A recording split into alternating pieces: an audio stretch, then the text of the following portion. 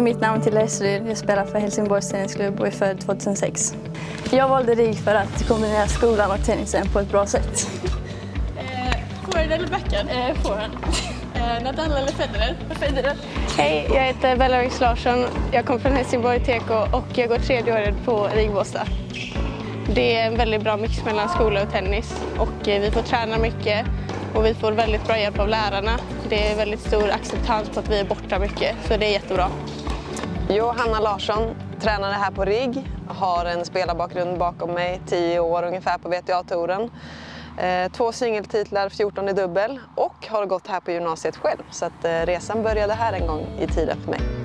Vår målsättning här på RIG är självklart att få varje spelare att nå sin maxnivå med eh, tennisen men också med skolan. Eh, Simon Munkhammar heter jag, spelar för Nynäshamns Tennisklubb och eh, går andra året här eh, på RIG i Båstad. Det har varit eh, träningarna väldigt bra, skola bra, man har lärt känna, lärt känna alla väldigt bra liksom, så att eh, trivs väldigt bra. Eh, mitt namn är Albert Widell och jag spelar för Helsingborgs Tennisklubb och är född eh, 2006. Eh, jag valde RIG för att eh, kunna kombinera studier med eh, tennisen på ett bra sätt. Jag har gjort eh, bra ifrån mig i, eh, på de nationella tävlingarna tycker jag. Eh, Jag har kommit etta och eh, tvåa i SM-tävlingarna. Eh, Så det är väl det jag är mest nöjd över. Eh, Men jag har utvecklats eh, både som person här och eh, som tennisspelare. Mattias Arvidsson, eh, som bland annat jobbat i Helsingborgs Tennisklubb i 16,5 år. Varit förbundskapten för damlandslaget i eh, sex år och eh, jobbat eh, med lite individuella spelare på, på damtouren, bland annat Johanna Larsson. Då.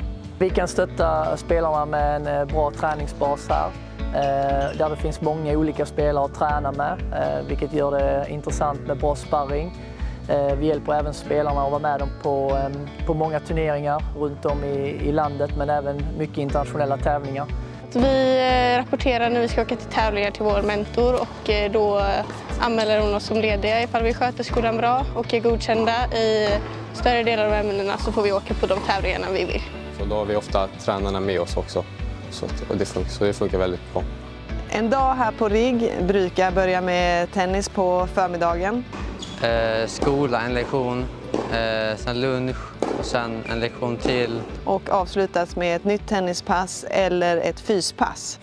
Eh, Så här långt har rigget gett mig jättemycket. Eh, Jag har kunnat tävla väldigt mycket, haft med mig coach på många tävlingar vilket har gjort enklare att eh, hålla igång och eh, ha mina rutiner.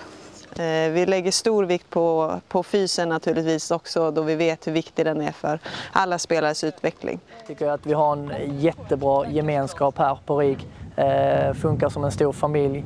Men också att det är härliga utmaningar med att jobba med så många olika individer.